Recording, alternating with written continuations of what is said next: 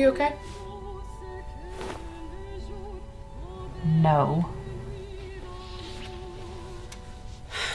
I thought I could stand it, but I just can't anymore. I was out in the driveway the other day. Bill was walking around with some new neighbor. Then all of a sudden, I heard him quietly mention our house, how bad it was, the shape of it. And then he said something else. Only us and Dooley Ross haven't won yard of the month. Then he said he felt bad for me because old Jimmy never cleans up his wife's yard.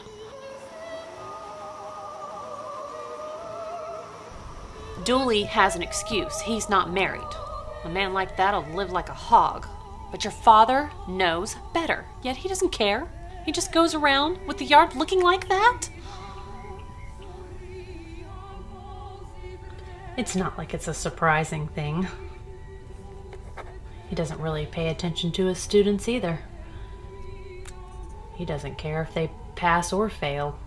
I'm amazed the school hasn't fired him yet. To be fair, if he doesn't even replace the light bulbs when they burn out, I really shouldn't be surprised that he won't mow the lawn.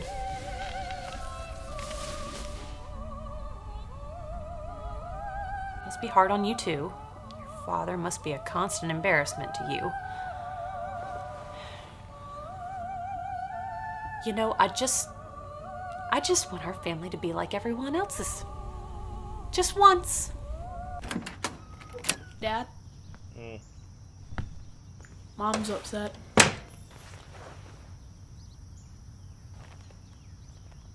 Dad. Hmm.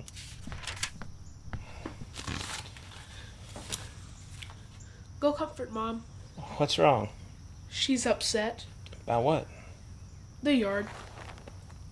Oh, I'll get Earl to do it. Dad, Uncle Earl's dead. Oh, right. Well, give me a spell to think on it.